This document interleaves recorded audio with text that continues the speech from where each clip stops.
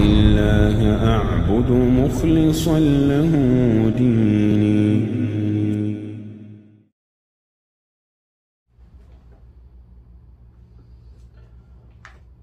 بسم الله الرحمن الرحيم. الحمد لله رب العالمين والصلاة والسلام على أشرف الأنبياء والمرسلين نبينا محمد وعلى آله وأصحابه أجمعين. رب اشرح لي صدري ويسر لي أمري واحلل عقدة من لساني يفقه قولي اللهم علمنا ما ينفعنا وانفعنا بما علمتنا وزدنا علم وبعد Möhtərəm müsəlmanlar, Şeyx Süleyman Ər-Ruhil Hafizahullahın müasir maliyyə məsələlərin fiqhi kitabının tədrisinə davam edirik. Keçən dərsimizdə e, taksidlə, yəni kreditlə malların al, alıb satılması haqqında orada olan təfsilat barədə danışdıq. Onun növləri barədə danışdıq və həmin dərsin davamı olaraq şeyx e, e, leasing barədə danışır. Yəni bugünkü dərsimizin mövzusu leasing mövzusudur. Yəni müştərinin müştərinin gedib e, malı al, satan insana deməsi ki, mənim filan mala ehtiyacım var və həmin malı satıcının əlində olması, mülkündə olmayan bir şeyi ondan istəməsi və satıcı da onun istəyi əsasında həmin malı alaraq müştəriyə satmasıdır. Buna qısaca olaraq leasing deyilir və buna ərəbcə, yəni fəqihlər bey'ul murabəhə lil əmri bişşira deyir fiqh kitablarında. Lakin bu kəlimə ola bilsin ki, bey'ul murabəhə, yəni qazançlı satış ə, kəlməsi ə, qədim fiqh kitablarında bu kəlmə ilə rast gəlmək olur. Lakin qədim alimlər bey'ul murabəhə deyəndə leasingi qəsd etməyiblər. Onların qəsdi başqa şey olub, olubdur. Yəni ola bilər ki, kimsə məsələn ərəbcə oxuya bilən bir insan qədim fəqihlərin kitablarını açar, orada bey'ul murabəhə kəlməsinə rast gələr və görər ki, bəli fəqihlər onun icazəli olduğunu deyirlər və deyər ki, hə, o zaman deməli leasing mütləq olaraq icazəlidir. Xeyr, bu belə deyil. Əl-bey'ul murabəhə deyəndə, qazançlı satış deyəndə qədimdə fəqihlər nəyi qəsd ediblər? Onu qəsd ediblər ki, bir insan malı satanda, yəni qədimdə bu termin necə istifadə olunub? Yəni qəd, ə, bir insanı satanda neçə satırsan, deyir ki, bunu ə, məsələn 5 maşını neçə satsan, məsələn deyir ki, 5 minə almışam, 1000 də qazancla satıram. Yəni qazancını zikr etməklə, xeyrini zikr etməklə satışa bey'ul murabəhə deyilir. Və bu demək olar ki, əksər alimlərin ə, rəyinə görə nədir? Bu icazəlidir. Burada bir problem yoxdur. Sən deyirsən ki, bu neçə almısan, neçə satırsan, deyir ki, 5 manata almışam, 1 manat üstünə qoyub satıram bu şəkildə deməsi nədir? Şəriətdə icazəlidir. Və onun başqa bir forması da var ki, icazəli olan, yəni, o da əksər alimlərin rəyinə görə o da icazəlidir. O da nədir? Deyir ki, məsələn, e, neçə deyir, neçə satırsan? Deyir, 5 manata almışam, hər manatın üstünə 10 qəpik qoyaraq satıram. Yəni, 5 manatın üstünə 50 qəpik qoyub satıram. Demir ki, 5 manat 50 qəpik satıram. Deyir ki, 5 manata almışam, hər manata 10 qəpik də üstünə qoyub satıram. Yəni 5 manata 50 qəpik qoyub satıram. Yəni bu bu şəkildə deməsi də nədir? E, racih odur ki, icazəli. Düzdür, buna da bəzi alimlər e, deyirlər ki, icazəli deyil, lakin burada da bir problem yoxdur. Lakin bunun da icazəli olmayan bəzən bir forması, iki forması ola bilər. Məsələn, o da hansıdır? E, bu yəni qazanclı satış e, qədimdə fəqihlərin işlətdiyi. Əgər e, satış qiymətini və yaxud qazancı zikr etmədən qiymət söyləyərsən. Məsələn, deyir neçə satırsan? E, satıcı da deyir ki, e, 5000-ə almışam və üstünə də xeyrimi qoyub satıram. O da deyir aldım. Burada e, məchulluq var. Satışın qiymətində məchulluq var. Çünki satıcı qiyməti təyin eləmədi. Deyir ki, 5000 almışam və üstünə də qazancımı qoyuram. Yaxşı, qazancın nədir? Nə qədər qoyursan, təyin etmədən deyir satıram və alıcı da bunu alırsa, bu şəkildə alış, doğru alış deyil, bu, bu, bu şəkildə satış da icazəli deyil. Və yaxud əksi olaraq deyir ki, neçə satırsan, deyir ki, aldığım qiymətin üstünə məsələn 1000 manat qoyub satıram. O da deyir, aldım. Yaxşısı, bu neçə alıb? Öz maya dəyərini bəyan etmədən. Yəni, bu da icazəli deyil. Çünki burada qiymətdə də burada yenə məchulluq var. Deməli, bu e, iki forması isə bunun icazəli deyil. Yəni, ümumiyyətlə ticarətdə, yəni, bu demək deyil ki, insan ticarətini belə etməlidir. Söhbət bundan getmir. Bax, düzgün anlamaq lazımdır. Yəni insana məsələn qiymət soruşanda insan satdığı qiymət asıl odur ki, satdığı qiymət neçədir onu söyləyir. Neçə satırsan deyir 6 manata. Lakin bu şəkildə deməsi olarmı? Söhbət bundan gedir. Yəni deməlidir deyə deyil, bunu nə üçün zikr edir? Deməsi olarmı? Yəni 5 manata almışam, 1 manat da üstünə qoyub 6 manata satıram deməsi icazəlidir yoxsa yox? Söhbət bundan gedir. Deməli, qədim fəqihlər bu indi ki söylə danışdığımız hamısı nədir? Bey'ul murabəhə deyəndə, qədim fiqh kitablarında Bey'ul murabəhə deyəndə bax bu saydığımız qəsd olur. Lakin müasir fəqihlərin, müasir alimlərin Bey'ul murabəhə dedikdə qəsdi leasingdir. Və leasing nədən ibarətdir? E, leasing odur ki, müştəri gedir satıcıda, hansı ki malik olmadığı bir şeyi satıcıdan istəyir ki onu al və onu mənə e, taksidlə, yəni kreditlə onu mənə sat. Və o da gedir, yəni baxmayaraq burada məsələyə e, yəni müştəri həmin əşyanın özünü istəyir, yoxsa həm yoxsa həmin əşyanı e, istəmir, sadəcə əşyanı alıb sonra satıb onun pulunu əldə etmək istəyir. Biz bundan danışmırıq. Biz ümumiyyətlə bu şəkildə etməkdən danışırıq ki, məsələn, gəlir məsələn e, şirkətə, leasing şirkətinə və yaxud banka, məsələn, bəzi ölkələrdə bu işlə banklar məşğul olur və yaxud fərdi bir insanın yanına. Deyir, məsələn, bazarda bax filan maşın var. Nərd satışı 20 mindir. Məsələn, o maşını mənə al, e, aylara, illərə, aylara böl, bölərək kreditlə mənə sat. 30 minə hesabla sat mənə. Buna nə deyirlər? Və bu maşına həmin bu ə, e, şəxs malikdirmi, xeyr malikdir. Bu deyəndən sonra gelib alır. Bax, leasingin forması bundan ibarətdir. Və leasingin e, bu formasının, bunun da özünün iki halı var. İki, iki şəkli var. Birinci forması odur ki, bu əqd, yəni ə, alış və alış-veriş müştəri ilə satıcı arasında müş satıcı maşını, məsələn, o əşyanı almazdan öncə arasında əqd baş versin. Ona malik yəni ki, satıcı ona malik olmazdan öncə artıq onu satmış olsun. Və istər bu kamil şəkildə ağd olsun, istər də yəni məcburi şəkildə olsun. Yəni e, fərq etməz. Məsələn, kamil şəkildə necə olur? E, deyir ki, məsələn, mən maşını gəlirsən, deyirsən ki, leasing şirkətinə və yaxud e, banka və yaxud fərdi bir şəxsə ki, mən e, filan maşını bax deyirsən, vəsfini filan maşını almaq istəyirəm. Onlar da baxırlar maşının qiyməti məsələn 20 mindir. Deyir ki, tamam. E, maşını 30 minə yəni 3 il müddətinə, ildə 10 min ödəməklə 3 il müddətinə sənə kreditə satırıq. Deyir, alıram. Deyir o zaman bu vərəqlərə qol çək, artıq maşını sənə satdıq. Və həmin adam da vərəqlərə qol çəkir. Nədir? Maşını artıq hələ onlar satıcı, leasing şirkət və yaxud bank və yaxud fərdi şəxs hələ maşını almamış, artıq bu adama satmış olur. Ya belə olur, ya da ki, ə, e, vərəqə qol çəkdirmirlər. E, məsələn, ilkin ödəniş tələb edirlər. Hələ almamış, özləri almamış, səndən ilkin ödəniş tələb edirlər. Deyir ki, məsələn, %5-ini alacağın əşya, e, maşındır və ya evdir və yaxud hər hansı bir əşyadır, %5-ini, %10-unu fərq eləməz. Müəyyən bir nisbət pulunu deyir, öncədən ödə, yəni mən əmin olum ki, sən bu malı məndən alacaqsan. Və yaxud hər hansı başqa bir ə, e, əqd sənədi yox, hər hansı bir qiymətli kağıza qol çəkdirir. Və bunların hamısı, bu saydıqlarımızın hamısı alimlərin demək olar ki, ittifaqı ilə bu nədir? Əksər alimlərin rəyinə görə bu haramdır. İstər əqd öncədən baş versin, yəni istər yəni ilkin ödəniş almaq şərti ilə fərq eləməz. Bu əksər alimlərin e, rəyinə görə nədir? Bu haramdır və hətta demək olar ki, hətta bəzi alimlər, yəni ittifaq da e, zikr edir. Düz məsələdə ittifaq yoxdur, lakin əksər İslam alimlərinin rəyi budur.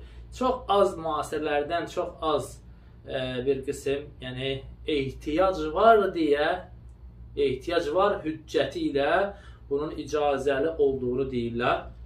E, ehtiyac var hüccəti ilə.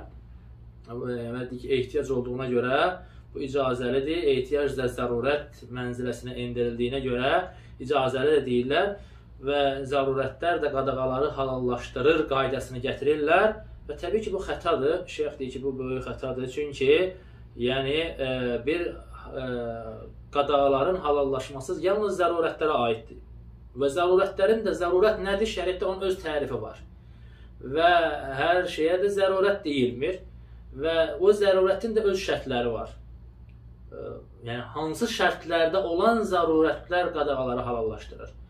Və o ki qaldı məsələ ehtiyac məsələsidirsə, bu zərurət deyil, ehtiyacdır və bu ehtiyacın da o şərtləri olmadığına görə o yeni qiyası etmək doğru deyil və bunların dəlili də e, yəni güclü bir dəlil sayıla bilməz. Və e, icazə verməyən alimlər, əksər alimlərin dəlili nədir? Peyğəmbər sallallahu əleyhi və səlləmin hədisidir ki, Rasulullah sallallahu əleyhi və səlləm insanın malik olmadığı şeyi satmasını qadağan etmişdir. Malik olmadığı şeyi satmağı qadağan etmişdir. Və əgər kimsə məsələn ola bilsin, e, deyir ki, sənə e, sual verə bilər ki, yaxşı, bank necə və yaxud leasing şirkəti necə zəmanət e, verə bilər ki, müştəri, yəni bu müştəri o kim ona zəmanət verir ki, e, o müştəri o maşını və yaxud o əşyanı ondan alacaq. Deyir ki, yəni bu zaman bunun zəmanəti deyən bir şey yoxdur burada zəmanəti, zəmanət deyən bir şey yoxdur. Yəni onlar çünki deyirlər ki, yəni sən sifariş verdin, sabah almasan nə olacaq? O leasing şirkəti ya fərdi şəxs və ya bank ziyana düşəcək. Sən sabah deyəcəksən ki, xeyr, alası olmadım. Onlar mal onların üstündə qalacaq. Və bu zaman onlara zərər toxunur. E, çünki o maşını yaxud hər hansı bir əşyanı sənin üçün alır və sən də ondan e, imtina edirsən, almaq istəmirsən. Və biz də deyirik ki, cavab olaraq buna deyirik ki, şeyx deyir ki, əsl odur ki, ticarətdə əsl budur. Yəni insan qazanc üçün bir şeyə səy edir, çalışır, bir malı alır. Ola bilsin o maldan satışda qazanc əldə etsin, ola bilsin əldə etməsin, xəsar ziyana uğrasın. Bu norm, bu ticarətin e, türklər demişəm, kuralıdır. Yəni ticarətin qanunudur. Dəyişməz bir qanunudur ki, yəni bu normal bir şeydir və bu şəriətin usullarına da, ümumiyyətlə e, ticarət usullarına da müxalif sayılmır. Burada bir normal bir şeydir. Və burada ikinci bir cavab da onlara veririk ki, hətta bu halda belə biz o leasing şirkətinə mi, banka və yaxud fərdə şəriətimiz çıxış yolu göstərir. Bu məsələdən çıxış yolu var. O çıxış yolu da nədən ibarətdir? E, möhlət alaraq malı almalarıdır. Yəni buna beyul xiyar deyirlər e, yəni ixtiyar sahibi olur. İxtiyar sahibi şəriətimizdə ixtiyar deyən bir şey var ki, e, yəni ticarət məsələlərində və şəriətimiz müəyyən hallarda ixtiyar verir. Birincisi e, məclis ixtiyarıdır. O da nədir? Alıcı və satıcı bir məclisdədir, bir mal alıb satırlar, hazır bir şeydir. Hə, bu kitabı neçə alırsan, satırsan, deyir ki 10 manata. Deyir aldım. O deyir satdım. 10 manatını verir, kitabı alır. On hələ məclis eyni otaqdadılar, söhbət edirlər. Söhbətin axırına yaxın alıcı imtina edir. Deyir xeyr yox. Rəy fikrimdən döndüm, alası olmadım. Qaytar 10 manatını istəmirəm kitabı. Və yaxud satıcı rəyindən dönür. Deyir yox qardaş, satası olmadı. Mənim pulumu e, pulumu al, kitabımı qaytar. Bunların ixtiyarı var. İkisindən birinin ticarəti ləğv et məclisdən ayrılmadıqca, oturduqları bir məclisdən, ticarət üçün toplaşdıqları bir məclisdən ayrılmadıqca, məsələn, dükandan gəldin, bir şey aldın, sən o dükandan çıxmadıqca o malı qaytarmaq haqqın var. Və yaxud satıcının sənə satmamaq haqqı var, geri sənin əlindən almaq haqqı var. Və buna Peyğəmbər səlləmin hədisi dəlildir ki, Rasulullah səlləm hədisdə buyurur ki: "Əl-beyyan bil xiyar ma lam yetəfərraqa." alıcı və satıcı hər ikisi ixtiyar sahibidir nə vaxta qədər, o zamana qədər ki, onlar ağırlaşmırlar, uzaqlaşmırlar bir-birindən. Uzaqlaşdılarsa artıq alış-veriş sabit olur. Yəni onların birinin e, hər ikisinin razılığı olmadan o ticarət ləğv oluna bilməz. Artıq baş verdi. Bu nədir? Məclis e, xiyarul məclis deyirlər buna. Yəni məclisdə olan ixtiyardır. İkinci ixtiyar isə ə, e, ticarətdə öncədən qoyulan şərt ixtiyarıdır. Məsələn, sən bir əşya alanda ə, sahibinə deyirsən ki, məsələn, bunu alıram səndən, öncədən şərtlə alırsan. Deyirsən ki, məsələn, 3 günlük 3 gün mənə möhlət ver. 3 gün ərzində əgər Allah pulu da ödəyirsən, malı alırsan, lakin deyirsən ki, 3 gün mənə möhlət ver, ixtiyar ver. Bəlkə 3 gündən sonra gətirdim, qaytardım.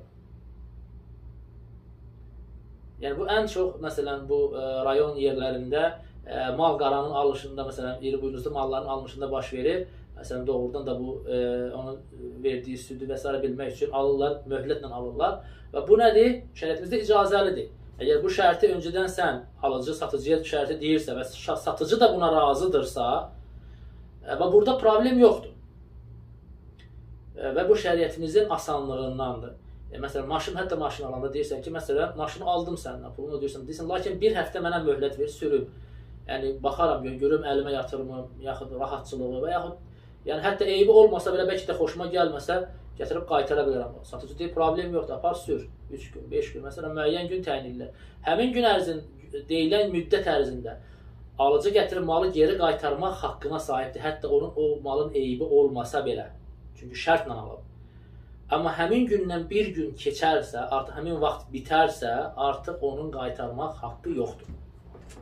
Deməli bu nədir?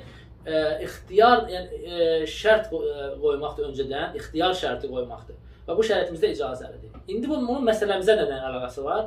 Məsələmizə əlaqə, məsələmizlə bağlılığı odur ki, biz deyirik ki, ey lizing şirkəti, ey bank yaxud ey e, bu e, lizinqlə məşğul olan fərdi şəxs Sən qorxursan ki, bu alıcı səndən malı almaya və sən zərərə e, düşə bilərsən. O zaman sən də aldığın şəxsdən, maşını al götürdüyün şəxsdən şərtlə al. Bu şərtlə al. Denən ki, səndən maşını alıram.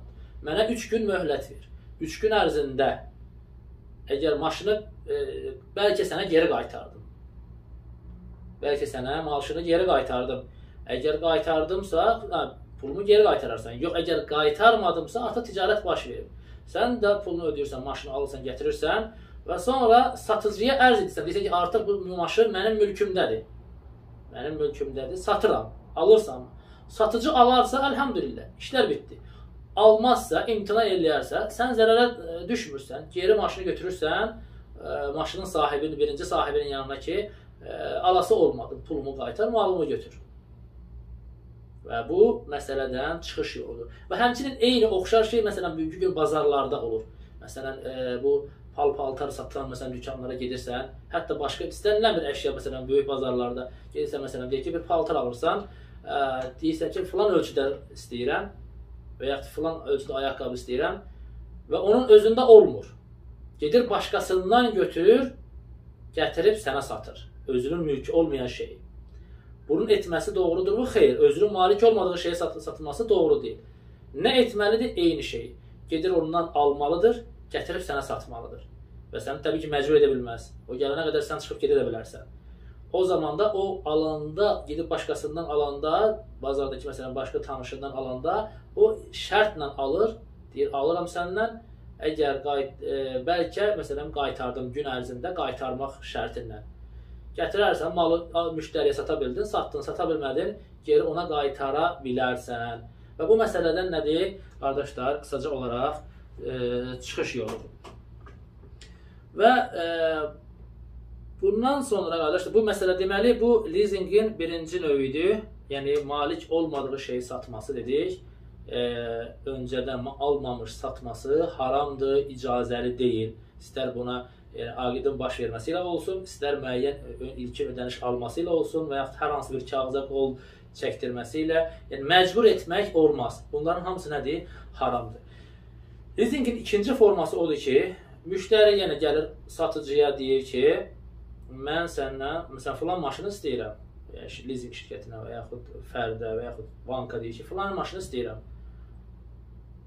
Deyir, tamam. Gedir, e, şirkət bazardan həmin maşını alır, gətirir. Öz artıq mülkü olandan sonra satıcıya ərz edir. Satıcıya ərz edir ki, bax, maşın artıq mənim mülkümdür, indi satıram. İstəyirsən, istəmirsən. Müştəri ola bilsin alsın, ola bilsin almasın. Və bu e, yəni ikinci formasıdır. Bu ikinci formasının da özünün iki halı var. Birinci halı odur ki, alıcının məqsədi o əşyanın özü olsun. İstər məsələn maşındır, söhbət maşından gedirsə, e, maşının özü olsun və yaxud hər hansı bir əşyadırsa, əşyanın özünü qəsd edir.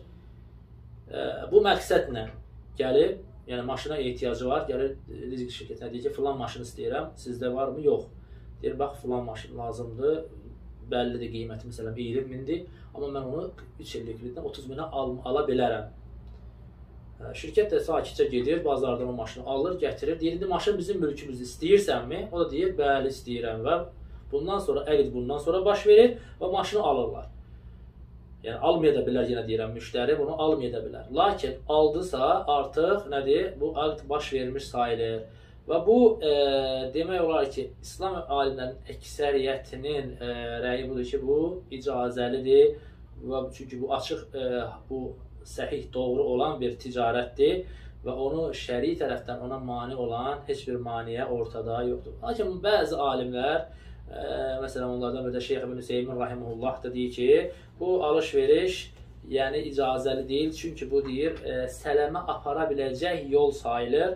Çünki satıcının məqsədi əşyanı, o məsələn maşını almaq deyildi. Satıcı yalnız müştəriyə onu kreditlə satmaq üçün getdi, maşını aldı, getdi. Və taksitlə satmaqdan ötəri getdi, alıb gəlib alıb gətirdi. Və o e, müştəri də onu artıq qiymətə alacaq.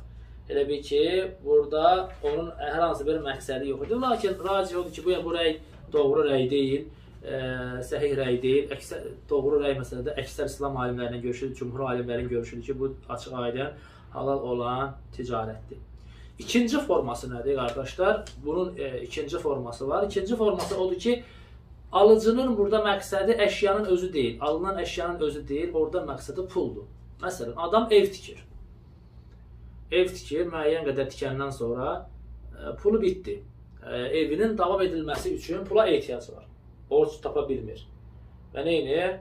E, gedib sələm də götürə bilməz, haramdır nə edir? Gedir məsələn lizing şirkətinə müraciət edir. Deyir ki, mənə mənim 3 dənə məsələn deyir, maşına ehtiyacım var. Yəni adam 3 dənə maşın alır. Yəni modelini, rəngini, hər bir şeyini söyləyir. Onlar da alırlar. Alırlar deyir, bəli, bizim artıq bu maşın bizim mülkümüzdür. İstəyirsənmi? Deyir, bəli, istəyirəm. Və onu illərə bölərək neçə eləsə bölürlər öz aralarında və o maşınları o adam bankdan alır. Və məqsədi nədir? O mal, o maşınları aparıb bazarda satsın. Bazarda satandan sonra pul əldə edib gəlib evin tikintisini davam eləsin. Məqsədi onun o maşınları sürmək deyil. Yəni məqsədi o aldığı əşya deyil. Oradan puldur məqsədi.